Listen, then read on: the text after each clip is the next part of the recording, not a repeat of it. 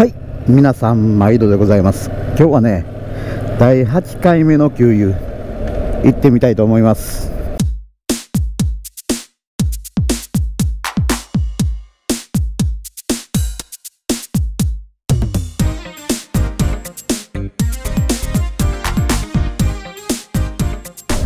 えー、現状今4月の20日に行った長崎のハウステンボス初めてお泊まりで行ったツーリングかな。の編集が 全然進んでません、えー、今日は第8回目の給油なんですけども給油も3回目までしか出てないんかな。ちょっと動画撮りためすぎやろっていう話なんですけど、えー、まあ8回目の給油行ってみたいと思います。今日はね5月の5日子供の日ゴールデンウィークももう残りあと今日と明日っていう状況です。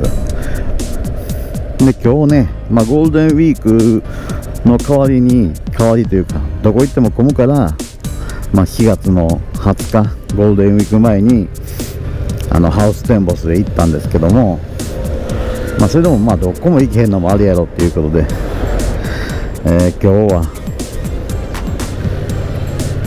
あっこ淡路島。淡路島へちょっと行こうと思ってます。なんやろ。一番の目的は前回淡路島やね去年かな。去年のいつやったやろ。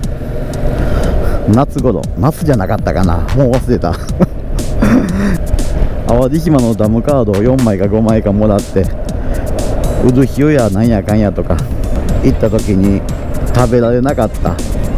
淡路バーガーかな。あの道の駅渦潮やったっけ？あの淡路島の一番下。下で売ってる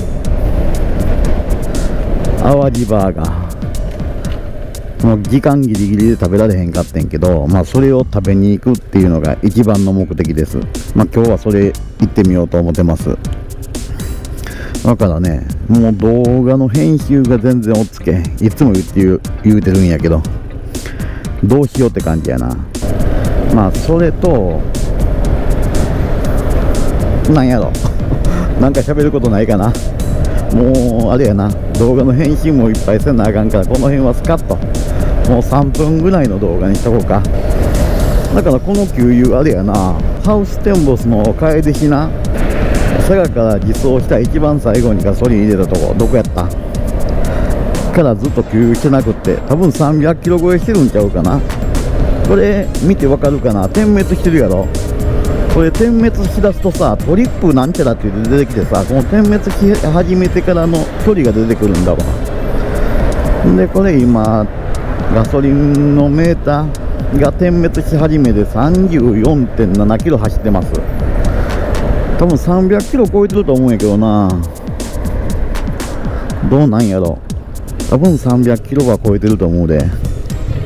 ということで到着です。よいしょ。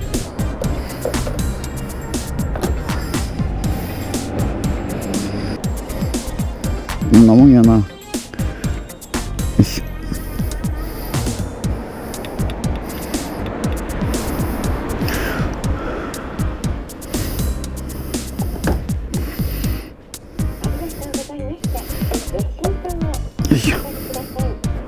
え12.67入って311.7リッター20なんぼか。まあまあちょっとええんちゃう？分かれへん。8回目の給油やけどな。結果知ってんのは3回目までやからこれがええんか悪いんかがちょっと分かれへんわ。まあええんじゃない？リッター20は超えてるな。310何本走ってんねんから。まあということで8回目の給油でございました。ただいま7時48分です。なんかな朝ちょっと道道がえらい混むようなことを言うてたわ。まあ道がえらい混むようなこと言うてたけど。まあ頑張って走ってこようかな。なんか言うことないかな、まあ、別に言うほどでもないけど。ハウステンボスから帰ってきてからちょっとチェーンに給油しました。でも2000キロぐらい走ったんかな。今もう2000キロ超えてるんかな。トータル。オドメーターが。ちょっとチェーンに給油したらうん。まあチェーンルブはやな。余ってたから。余ってたっていうのも変やな。そう。結構チェーンに給油したらさなんかこう動きが軽くなったわ。これフラヒーボ効果かどうか分からへんけどそんなことないと思うんやけどな。ちょっとチェーンに給油してあげたら起きた時にめっちゃ軽くなった。それとこれサイドスタンドしかないやん。ヤマハの MT-07 って。でまあな車のジャッキ。でちょっと浮かすっていう後輪を浮かすっていう手もあったんやけどあのチェーンに給油すんのに給油しちゃバイクを前へ押し給油しちゃ前バイクを前へ押しっていうことで給油しました。うん。